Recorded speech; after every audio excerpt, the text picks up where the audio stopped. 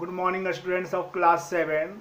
I am going to teach you science, physics, chapter number 6, and that is the chapter number 2nd of physics, flow of heat. पिछले दिनों हमने flow of heat पढ़ाना शुरू किया था और ये बताया था कि हीट फ्लो के तीन मेथड्स हैं कंडक्शन कन्वेक्शन एंड रेडिएशन जिसमें कंडक्शन हम लोग पिछले दिन पढ़ चुके थे और कंडक्टर्स एंड बैड कंडक्टर्स क्या होते हैं? और इसके एग्जाम्पल्स हम लोग देख चुके थे। Conductors means that substance which allows heat to flow through it जैसे मेटल्स जितने भी मेटल्स होते हैं, वो गुड कंडक्टर्स होते हैं।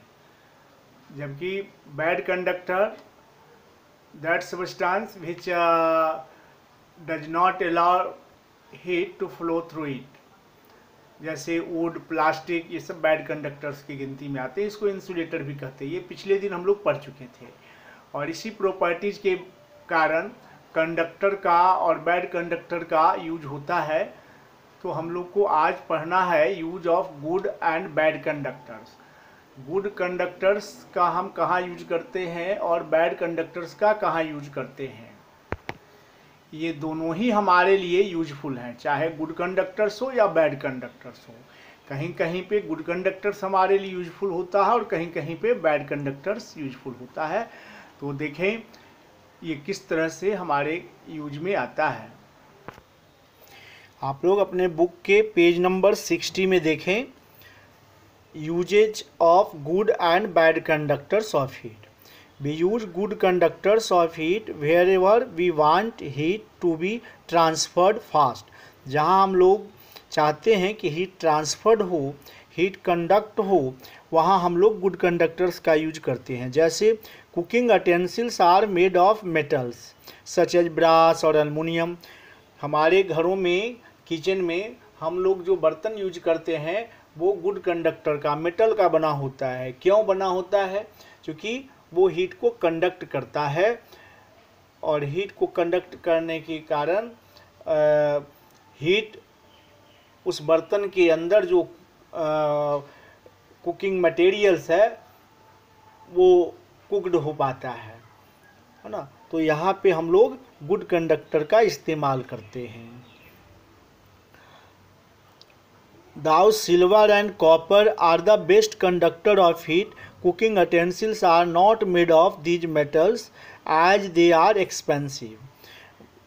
Gold and silver या कॉपर ये भी गुड कंडक्टर हैं लेकिन इस, इसका बर्तन हम लोग यूज़ नहीं करते हैं चूँकि ये महँगा है।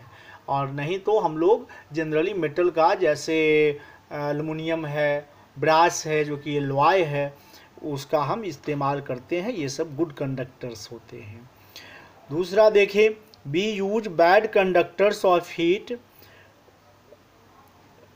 heat ever we do not want heat to be transfer जहाँ हम लोग को ज़रूरत है कि हीट ट्रांसफ़र नहीं हो, वहाँ हम लोग बैड कंडक्टर का इस्तेमाल करते हैं।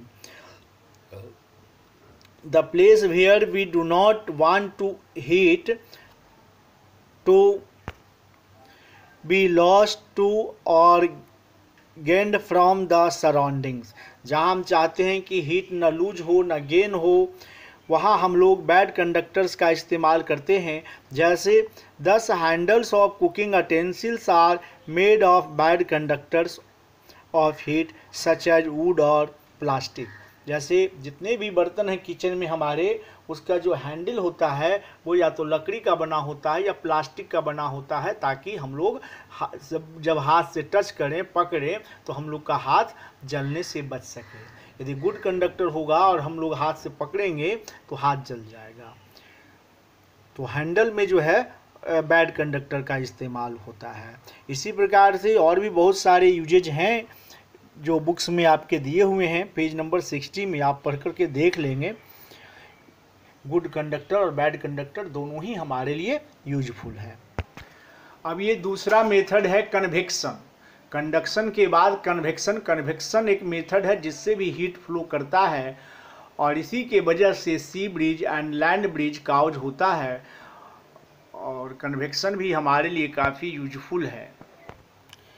आप देखें अपने बुक के पेज नंबर 61 में एक्टिविटी सेवन में यहाँ देखिए एक बीकर में पानी है और उसको गर्म किया जा रहा है। आप भी अपने घरों में पानी गर्म होते देखे होंगे। तो बर्तन में देखते हैं पानी को खोलते हुए और उसमें हम ये साफ़ देखते हैं कि अंदर से बीच बीच में से पानी जो है ऊपर से, नीचे से ऊपर की ओर आ रहा है और किनारे से फिर वो नीचे की ओर लौट जा रहा है। यहाँ आप स्पष्ट देख सकते हैं। बीच से पानी गर्म होकर के ऊपर की ओर उठता है और फिर ये किनारे की ओर, दोनों किनारे, इधर और इधर, चारों तरफ़ किनारों की ओर मुड़ जाता है और मुड़ करके नीचे चला आता है। तो ये जो तरीका है, ये कन्वेक्शन कहलाता है। है ना? वो नीचे का पानी गर्म होकर के ऊपर आता है फिर ऊपर का ठंडा पानी जो है नीचे चल जाता है और ये प्रोसेस चलते रहता है और इससे पूरा पानी गर्म हो जाता है। तो ये जो मेथड है, वो कन्वेक्शन मेथड है। इसमें हीट फ्लो नहीं करता है, बल्कि मॉलिक्यूल्स मूव करता है। कंडक्शन में हमने देखा था कि सॉलिड के पार्टिकल्स मूव नहीं करते। कंडक्शन से जनरली सॉलिड जो है गर्म हुआ करता है और कन्वेक्शन से लिक्विड और गैस गर्म हुआ करता है। कंडक्शन में मटेरियल के जो पार्टिकल हैं, वो मूव नहीं करते, बल्कि हीट फ्लो करता है। और यहाँ हीट फ्लो नहीं करता है, बल्कि जो मटेरियल है, उसके पार्टिकल्स मूव करते हैं। पार्टिकल्स जो है मॉलिक्यूल्स जो है, वो सोर्स ऑफ़ हीट के पास जाता है, गर्म होता है, और वहाँ से उठ कर करके ऊपर चला जाता है। और दूसरे मॉलिक्यूल जो है ठंडा मॉलिक्यूल, वो वहाँ जाता है, वो भी गर्म होकर के ऊपर चला आता है और ये प्रोसेस चलता रहता है। तो इसमें हम देखते हैं कि particles of movement movement of particles हुआ करता है कन्वेक्शन में और इसी के सहारे पानी गर्म होता है या हमारे एटमॉस्फेयर में हवा जो गर्म होती है, वो भी कन्वेक्शन मेथड से ही गर्म हुआ करता है। सन लाइट से पहले धरती गर्म होती है, सरफेस गर्म होता है, अर्थ सरफेस और जो हवा अर्थ सरफेस के कंटैक्ट में आता है, वो गर्म होकर करके ऊपर उठ जाती है और ऊपर की ठंडी हवा फिर नीचे आती है और वो भी अर्थ के कंटैक्ट में सरफेस के कंटैक्ट में आने पर गर्म होती है और फिर ऊपर चली जाती है। इस तरह से कन्वेक्शन मेथड से एटमॉस्फेयर गर्म होता है, हवा गर्म होती है। देखिए कन्वेक्शन का डिफिनीशन है convection is the process of transfer of heat in which the heated molecules of a liquid or gas themselves move to carry heat from the hot to the cold region. तो ये definition हो गया convection का। ये convection liquid में होता है और गैस में ही होता है। देखें पेज नंबर 62 में पेज नंबर 62 में देखें sea and land breeze in coastal areas the breeze generally flows from the sea towards the land during the day. दिन के समय में समुद्र से ज़मीन की ओर हवा बहती है एंड रात में ज़मीन से from the land towards the sea रात में ज़मीन से समुद्र की ओर हवा बहती है। तो इस तरह से ये दो तरह का ब्रिज हुआ, sea breeze and land breeze. तो दिन में समुद्र से ज़मीन की ओर, जिसको सी ब्रिज कहते हैं, और रात में ज़मीन से समुद्र की ओर, इसको हम लैंड ब्रिज कहते हैं। ये दोनों ही ब्रिज कन्वेक्शन करंट का ही परिणाम है। देखें, पेज फिगर नंबर 6.8 में पेज नंबर 62 में है, सी ब्रिज समुद्र से ज़मीन की ओर हवा जा रही है। और ये रात्रि में देखिए ज़मीन से समुद्र की ओर हवा जा रही है, ये लैंड ब्रिज हो गया।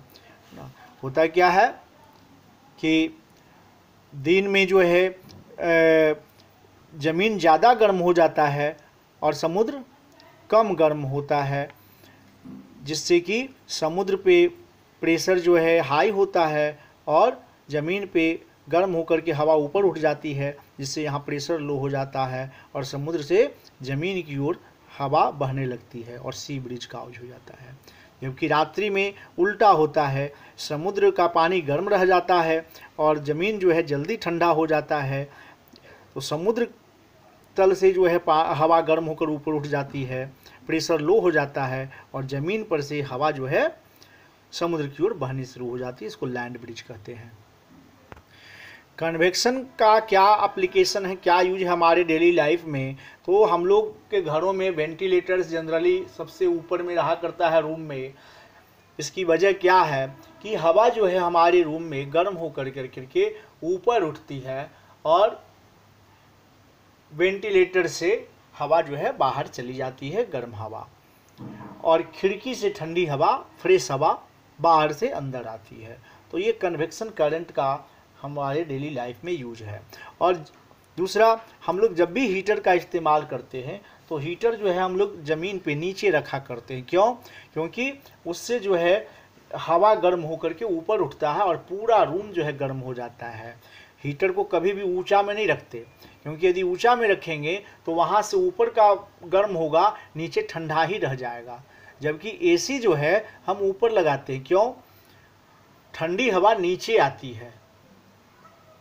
तो ऊपर में लगाने से पूरा रूम जो है नीचे ठंडा हो जाता है। यदि हम एसी नीचे की ओर लगा दें, नीचे में लगा दें तो वहाँ से नीचे ठंडा होगा उसके ऊपर गर्म रहेगा। तो ये एसी और हीटर लगाने में भी हम कन्वेक्शन के प्रिंसिपल का इस्तेमाल करते हैं। अब आप लोग होमवर्क नोट करेंगे। पहला why are cooking utensils made of metals cooking utensils metal का क्यों बना होता है? Second handle of cooking utensils made of wood और प्लास्टिक, क्यों? बर्तन का जो हैंडल होता है, वो वुड या प्लास्टिक का बना होता है, क्यों? Distinguish sea and land breeze sea breeze और लैंड ब्रिज का अंतर बताइए। तो ये सारे क्वेश्चन आप लोग करेंगे होमवर्क के रूप में। It's okay thank you